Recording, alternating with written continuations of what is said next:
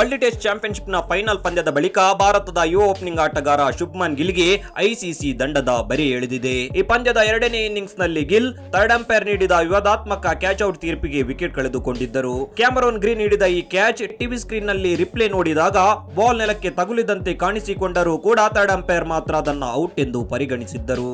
Umpire ನಿರ್ಣಯದಿಂದ ಆಕ್ರೋಶಗೊಂಡ ಗಿಲ್ ತಮ್ಮ social media ಖಾತೆಯಲ್ಲಿ ಅಸಮಾಧಾನ ಹೊರಹಾಕಿದ್ದರು.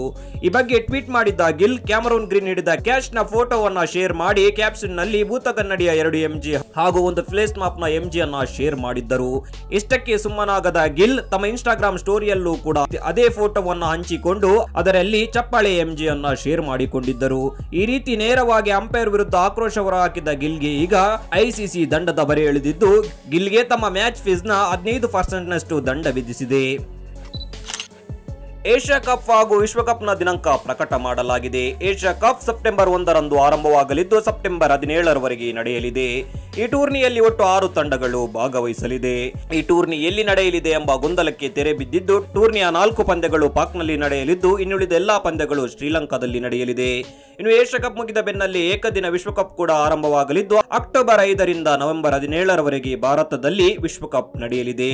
ಈ ವಿಶ್ವಕಪ್ನಲ್ಲಿ ಒಟ್ಟು ಹತ್ತು ತಂಡಗಳು ಪಾಲ್ಗೊಳ್ಳಲಿದ್ದು, ಅದರಲ್ಲಿ ಎಂಟು ತಂಡಗಳು ಈಗಾಗಲೇ ಖಚಿತವಾಗಿದೆ. ಹಾಗೂ ಇನ್ನುಳಿದ ಎರಡು ತಂಡಗಳು ಯಾವುದು ಅನ್ನೋದು ಕ್ವಾಲಿಫೈಯರ್ ಪಂದ್ಯದ ಬಳಿಕ ತಿಳಿಯಲಿದೆ. ಐಪಿಎಲ್ ವೇಳೆ ಆರ್ಸಿಬಿ ಹಾಗೂ ಲಕ್ನೋ ಸೂಪರ್ ಜೈಂಟ್ಸ್ ಪಂದ್ಯದ ವೇಳೆ ವಿರಾಟ್ ಕೊಹ್ಲಿ ಹಾಗೂ ಗಂಭೀರ್ ನಡುವೆ ವಾಗ್ವಾದ ನಡೆದ ವಿಚಾರ ನಿಮ್ಗೆಲ್ಲ ತಿಳಿದಿದೆ. ಇದೀಗ ಗಂಭೀರ್ ಈ ವಿಷಯದ ಬಗ್ಗೆ ಮಾತನಾಡಿದ್ದು, ನನಗೆ ಹಾಗೂ ಕೊಹ್ಲಿಗೆ ಯಾವುದೇ ವೈಯಕ್ತಿಕ ದ್ವೇಷವಿಲ್ಲ ಎನ್ನುವ ಮೂಲಕ ವಿವಾದಕ್ಕೆ ತೆರೆ ಎಳೆದಿದ್ದಾರೆ. ಈ ಬಗ್ಗೆ ನ್ಯೂಸ್ ಏಟೀನ್ಗೆ ನೀಡಿದ ಸಂದರ್ಶನದಲ್ಲಿ ಮಾತನಾಡಿದ ಗಂಭೀರ್ ಎಂಎಸ್ ಧೋನಿ ಹಾಗೂ ಕೊಹ್ಲಿ ಜೊತೆಗಿನ ನನ್ನ ಸಂಬಂಧ ಒಂದೇ ರೀತಿಯದ್ದಾಗಿದೆ. ನಮ್ಮ ನಡುವೆ ವಾಗ್ವಾದ ನಡೆದರೆ ಅದು ಮೈದಾನಕ್ಕೆ ಮಾತ್ರ ಸೀಮಿತವಾಗಿರುತ್ತೆ. ಮೈದಾನದ ಹೊರಗೆ ಅದನ್ನ ತರುವುದಿಲ್ಲ. ವೈಯಕ್ತಿಕವಾಗಿ ನಮ್ಮ ನಡುವೆ ಯಾವುದೇ ಮನಸ್ತಾಪವಿಲ್ಲ. ನಾನು ಭಾರತ ಗೆಲ್ಲಲು ಬಯಸುತ್ತೇನೆ. ಹಾಗೂ ಅವರು ಕೂಡ ಅದನ್ನೇ ಬಯಸುತ್ತಾರೆ ಎಂದು ಗಂಭೀರ್ ಸಂದರ್ಶನದಲ್ಲಿ ಹೇಳಿಕೊಂಡಿದ್ದಾರೆ. ಭಾರತದ ಮಾಜಿ ಸ್ಪಿನ್ನರ್ ಹರ್ಭಜನ್ ಸಿಂಗ್ ಧೋನಿ ಅಭಿಮಾನಿಯೊಬ್ಬನ ವಿರುದ್ಧ ಗುಡುಗಿದ್ದಾರೆ.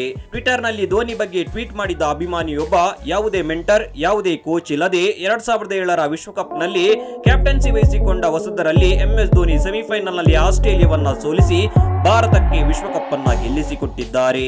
ಇದನ್ನ ಹಲವು ಮಾಜಿ ಆಟಗಾರರು ಒಪ್ಪಿಕೊಳ್ಳಲು ತಯಾರಾಗಿಲ್ಲ ಎಂದು ಬರೆದುಕೊಂಡಿದ್ದ ಆ ಅಭಿಮಾನಿಯ ಟ್ವೀಟ್ನಿಂದ ಸಿಟ್ಟಾದ ಎರಡ್ ಸಾವಿರದ ಏಳರ ಟಿ ಟ್ವೆಂಟಿ ತಂಡದ ಭಾಗವಾಗಿದ್ದ ಹರ್ಭಜನ್ ಸಿಂಗ್ ಈತನ ಟ್ವೀಟ್ಗೆ ರೀಟ್ವೀಟ್ ಮಾಡಿ, ಹೌದು, ಈ ಎಲ್ಲಾ ಪಂದ್ಯಗಳಲ್ಲಿ ಆ ಒಬ್ಬ ಯುವ ಆಟಗಾರನೇ ಭಾರತದ ಪರ ಆಡಿರೋದು. ಉಳಿದ ಹತ್ತು ಆಟಗಾರರು ತಂಡದಲ್ಲಿ ಆಡಿಲ್ಲ. ಆದ್ದರಿಂದ ಅವನೊಬ್ಬನೇ ಭಾರತಕ್ಕೆ ವಿಶ್ವಕಪ್ ಅನ್ನ ಗೆಲ್ಲಿಸಿಕೊಟ್ಟಿದ್ದಾನೆ ಎಂದು ವ್ಯಂಗ್ಯವಾಡಿ ಬರೆದುಕೊಂಡಿದ್ದಾರೆ.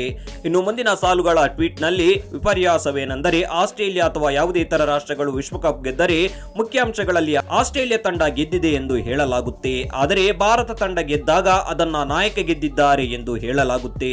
ಇದೊಂದು ಕ್ರೀಡೆ. ಇಲ್ಲಿ ಗೆದ್ದರೆ ತಂಡವಾಗಿಯೇ ಗೆಲ್ಲುತ್ತೇವೆ. ಹಾಗೂ ಸೋತರು ತಂಡವಾಗಿಯೇ ಸೋಲುವಂತ ಕ್ರೀಡೆ ಇದಾಗಿದೆ ಎಂದು ಹೇಳುವ ಮೂಲಕ ಧೋನಿ ವಿಶ್ವಕಪ್ ಗೆದ್ದಿದ್ದಾರೆ ಎಂದು ಹೇಳಿದ ಅಭಿಮಾನಿಯ ವಿರುದ್ಧ ಆಕ್ರೋಶ ಹೊರಹಾಕಿದ್ದಾರೆ. ಪ್ರಿಯ ವೀಕ್ಷಕರೇ, ಅರ್ಬಜಾನ್ ರವರ ಈ ಟ್ವೀಟ್ ಬಗ್ಗೆ ನಿಮ್ಮ ಅಭಿಪ್ರಾಯ ಏನು ಅನ್ನೋದನ್ನ ಕಮೆಂಟ್ ಮಾಡಿ.